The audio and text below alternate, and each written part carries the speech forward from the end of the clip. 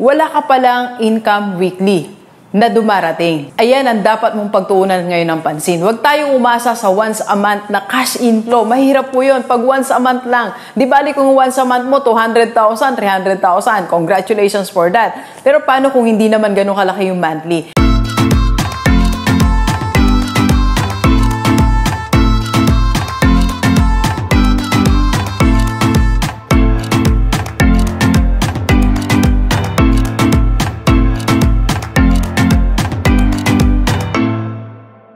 Positive Day Believers, this is Dr. Gigi Disunga from I Can Change Project. Magandang hapon sa lahat ng mga Believers natin. And sa first time po tayo panood sa YouTube channel, thank you very much. Please subscribe, click mo na po yan, Doc Gigi Sunga. And sa lahat ng mga magpa-coach kay Doc, or if you want to start, advertise, or improve your business, just PM me sa aking personal FB, nandyan lang po sa paligid. Okay? Okay, so ngayong hapon na to, I will help you to answer two questions. Alright? So, tanungin natin sarili natin, tayo lahat, sabay-sabay tayo na umulad ba tayo financially? Nagkakaroon ba ng improvement ang pera natin? So, nararating ba natin yung financial goal natin, financial target natin? Okay? And second na tanong na gusto ko uh, i-analyze natin, sagutin natin, uh, tama ba yung ating mga expenses, yung money management natin? Okay? Kasi yan isa sa mga factors bakit hindi natin na-attain yung financial goal natin. Di ba sometimes gusto natin magkaroon tayo ng 100k na savings, 100k na investment, pero hindi po siya nangyayari. Okay? So, kaya ito, uh, i-discuss natin sa inyo. Okay? So, paano nga ba natin masasagot ang dalawang tanong na yan? Okay? So, ito, masasagot natin yung dalawang tanong na yan pag nag-analyze tayo ng dalawang bagay sa pera natin. Whether ikaw ay employed, meron kang sideline, o meron kang maliit na negosyo. Okay? So, you have to analyze your cash inflow and your cash outflow. Alright? So, dalawang bagay po yan. Okay? So, una, una muna, punta tayo sa cash inflow. Okay? So, ito pong pag-uusapan natin, hindi naman siya pang accountant. Siguro pang accountant mga terms, pero I'm not an accountant. I'm not an expert on this uh, mga cash inflow and all that. So, I'm not doing those things. Pero gusto ko lang gamitin natin konti yung term na yan para may vibe natin na pinag-usapan natin mga cash. Alright?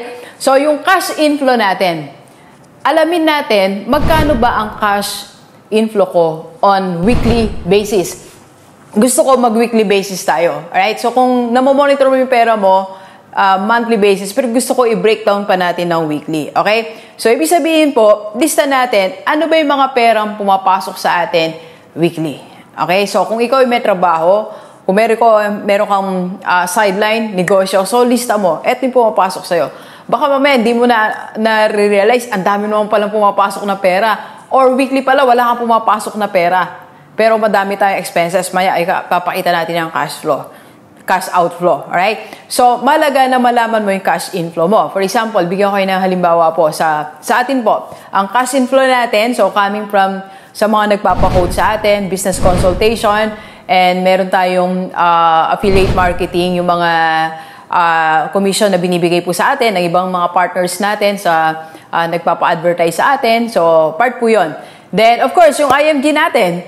So, meron tayong weekly uh, cash inflow dyan. Hindi po hindi po yan pumapalya. Pumalya ng lahat si IMG, hindi. And if you want to join my team po ha, para magkaroon ka na ng uh, weekly cash inflow, PM mo lang ako. Yan, sa aking personal FB. So, yan pa yung mga dumarating na pera sa atin. Okay? Yung sa YouTube kasi, monthly po yun eh. So, tinitin more on tinitingnan ko yung weekly. Ayan ang cash inflow ko weekly. Okay? So, sa'yo ngayon, ilista mo na. Dok, eto, nagbenta kasi ako ng ganito, nakakomission ako ng uh, 2,000 a week, eto yung sinahod ko, eto, ganon. So, nakikita natin, alright? So, that's your cash inflow weekly. Alright? So, ngayon, ganito. Dok, wala pala akong pumapasok weekly. So, that's the reason. Yan ang isa sa sasagutin natin. Kaya ako to vlog. So, para ma-realize natin, makita mismo natin, wala ka palang income weekly na dumarating. Ayan ang dapat mong pagtuunan ngayon ng pansin. Huwag tayong umasa sa once a month na cash inflow. Mahirap po yun pag once a month lang. Di bali kung once a month mo, 200,000, 300,000. Congratulations for that. Pero paano kung hindi naman ganun kalaki yung monthly? Kaya ko to binlag kapatid para mapagtuunan mo ng pansin yung cash inflow mo weekly. Okay? So ngayon, umisip ka na ng paraan. At least magsulat ka ng tatlong bagay na gagawin mo para magkaroon ka ng pasok ng pera weekly? Right? So, hindi ko alam kung gagamitin ba yung skill mo, makikibenta ka ba, magtitinda ka dyan, o mag-IMG ka na, or hindi natin alam kung ano, di ba? I don't know. Pero ikaw nakakaalam yan ng situation mo. Okay? Or maybe you want to join my SMDC Rockstar team. Yan, bagong-bago yan ha. Thank you SMDC sa ating partnership. Sa mga OF, OFW po to, international uh, partnership po siya. Okay? So, that's your weekly cash inflow, right? So, dako tayo sa second part. Ang second, second part natin, yung weekly cash outflow naman, lumalabas. So, ngayon, maglista ka din. Magkano yung lumalabas na pera mo? So, alam nyo, hindi naman kailangan maging accountant tayo. Pag nakita mo naman yan, kahit nga mentally, minsan, na, na ano mo, di ba? Naisip mo. Pero ako, ngayon, nagsusulat-sulat na rin tayo. So, sulat mo, ano yung mga binayaran mo? Binayaran mo, payment 1, 2, 3, 4, 5, 6, 7, Di ba? Minsan ang dami, di ba? So, yun yung mga binabayaran natin. Okay? So, Doc, ano naman ngayon ang lesson? Ang lesson natin dalawa. Okay? So, unang-una, sa weekly cash outflow mo. Okay? Nagto-total ba yan o mas malaki pa yan sa weekly cash inflow mo? So, yan ang dapat nating sagutin. Okay? So, kung nakita mo ngayon, na-realize mo, Doc, mas malaki yung outflow ko kesa sa inflow. So, dalawang bagay yan. Mag-adjust ka ng, in, ng expenses mo or dagdagan ng inflow. Alright? And second na dapat nating ma-realize, mga kapatid, Diyan sa cash outflow natin, tinan mo, meron ba diyang investment, may savings, may emergency funds, may health insurance. Dapat ang expenses mo weekly, meron kang inilalagay dyan. Okay? So, kagaya ngayon, sample ulit tayo. Um, to every Sunday po, naging kultura ko na. So, one of my cash outflow, lumalabas kong pera, inilalagay natin sa mutual funds o undersold Divo funds sa IMB din yan. So, yon So, that's one. Then, yung tinatapos natin yung ating manual life na investment. So, life insurance po yun. Kinuha ko yun 5 years. Matatapos na ako 2 months na lang. Di ba? Uh, um, yun.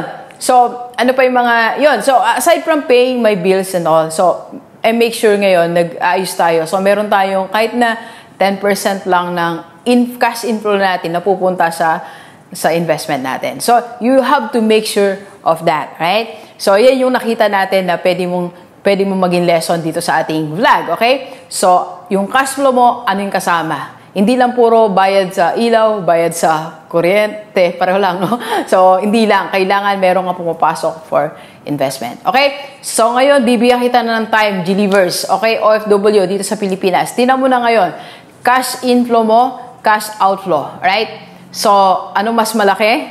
Tinan.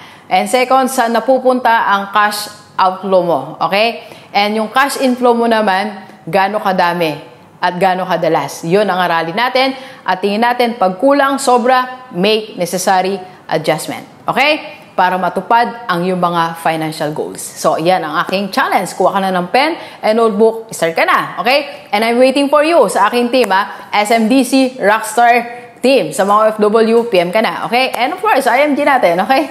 Alright, so please share this video sa lahat ng mga kaibigan natin. Kahit OFW, oh, dito sa Pilipinas, para sama-sama tayo, mabago tumulad ating buhay. Thank you very much, Gilivers. Enjoy the rest of the day. Eh? Let's go, let's go.